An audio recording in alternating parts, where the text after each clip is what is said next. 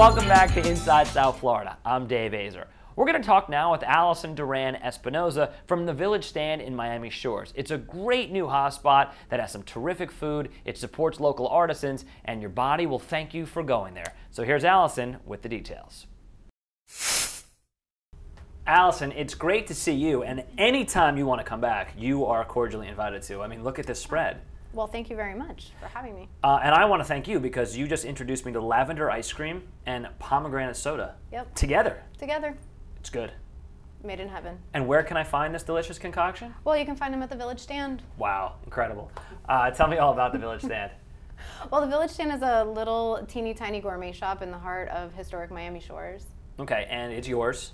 You, yeah. you and your hubby. Yep. And uh, it's been around about two years, right? About two years. Okay, so what made you guys decide to, to create it?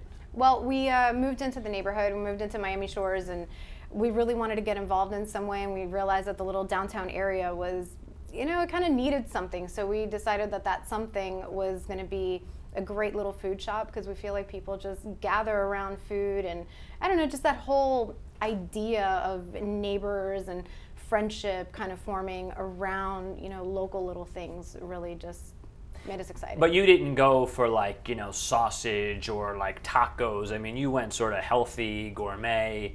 Are you have you always been drawn to that?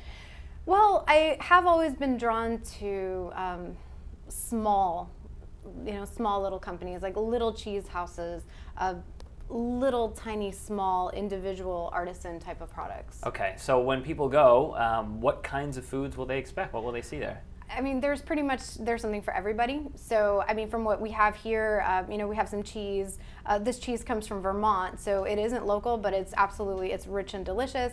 But it's on a local cracker, and uh, uh Pascal's is a grapefruit uh, and lemon jam from uh, Delray Beach. So you know, something, a little bit of something for everybody.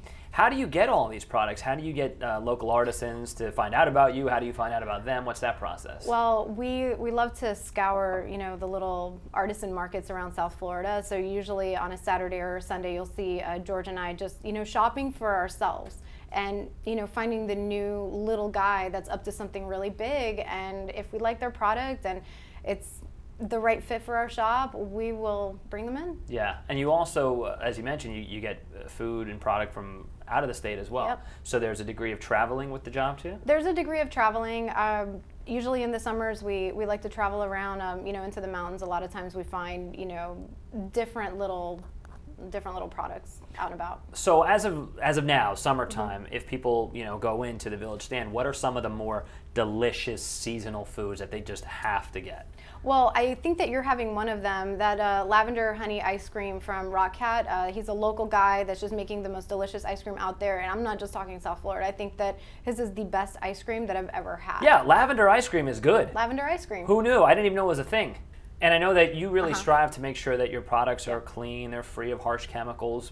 Why is that so important to you? Well, to us it's really important because we live in an age where there's, you know, everything is so processed. And we like to find things that are just, you know, they can stand alone. You know, like this cheese, for example, it has no fillers. It's just a one delicious cheese. And you eat it and you're eating something that really is good for you. Yeah, I would imagine, I've, I've not been to your shop yet, but I would imagine that when people go there, I'm just sort of getting the vibe that it's like, you spend your time there, right? We really you walk do. around, you know, it's kind of like, are you there like personally greeting everybody? I'm personally there, Yeah. either uh, myself or my husband George. Okay, and you guys do some catering as well, right? You cater do. events outside. Tell me about We that. do. Well, anytime uh, you know we have customers come in, they say, "Hey, you know, we're having a huge party and we want to have it be, you know, the best, you know, most gourmet party we can possibly have." And so we'll, you know, we'll make it happen. We're not a catering company, but we work with catering companies that are really strict about what they serve and.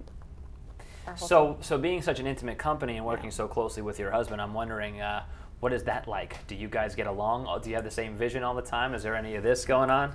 Not usually. We we pretty much get along. We do have uh, differing ideas, but we tend to work through it. Yeah.